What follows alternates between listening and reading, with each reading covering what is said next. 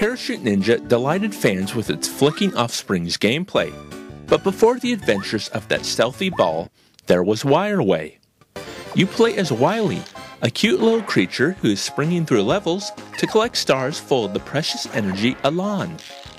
When Wily is attached to a spring, pulling back will prime him for takeoff. A guide will show your arc and an indicator of your distance, but it's not foolproof. The goal is to reach the UFO at the end of each level, but there is much to explore and puzzle pieces to collect as well as all the stars. Based on how well you do, a score will be awarded upon completion of the level. A pixel art style has been used here, and while it's nothing special, the game is colorful and it's easy to see what's going on. Sound and music is adequate, and iPod support is enabled for those who wish to listen to their own music. Aside from the main campaign, there are two other challenge modes. In Flick Trials, the goal is to complete the level in as few flicks as possible, while Strategery mode has you placing springs and bumpers yourself to make it through.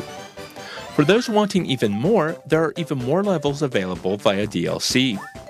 Wireway is a well made game with loads of content. Some of the level design is great, but there seems to be that spark missing that can make some games truly enjoyable.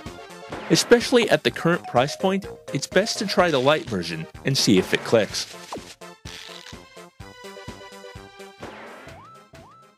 This has been Dave with AppSpy.com. We review, you decide.